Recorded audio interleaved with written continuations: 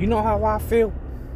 I feel like the gig economy is not going to be around in 30 years from now, 20 years from now. That's how I feel. Because when these politicians get involved, they going to fuck shit up, okay? I mean, it was fun while it lasted and all. But my opinion, I feel like it's not going to be around in like 20, 30 years from now. Because when, when the government gets involved, government got a habit of messing things up. You know what I mean? They got a habit of messing things up. Okay? I don't want to be no employee. I want to be independent contractor. And I like doing gig work. I wish I could do it for the rest of my life.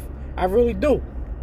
But the base pay sucks, and most of the people live living by day by day. That's what we're living by. We're living by day by day. My market is a shitty market.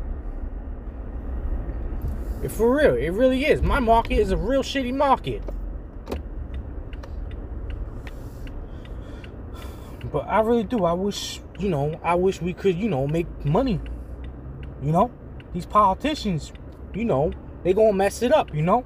And Tony Xu and the whole DoorDash corporation, and all these other apps like Uber Eats and Grubhub, they don't want to pay their drivers. So if you don't want to pay, people are gonna complain. You feel me? That's why I feel like they're gonna complain. So, you know, they're gonna complain. They're gonna complain to the politicians. Politicians got that habit of messing things up. Okay, anytime you get government involved, they got a habit of messing things up. All they had to do was bring up the base pay. All they had to do was divide, divide, okay? Divide the money, all right? Divide. Divide the platform, all right? Divide. They got greedy. That's what happened. They got greedy. This was supposed to be for, you know, to, to work by yourself, right? This was supposed to be for, you know, this was supposed to be for your, you know, to be your own boss, right? Independent, being on boss. But the people from DoorDash corporations, Uber Eats, and Grubhub, and all these other apps, they got greedy. That's what did it.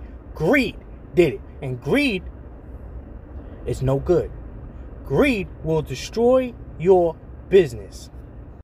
Anyway, I'm done for ranting. I'll see y'all later.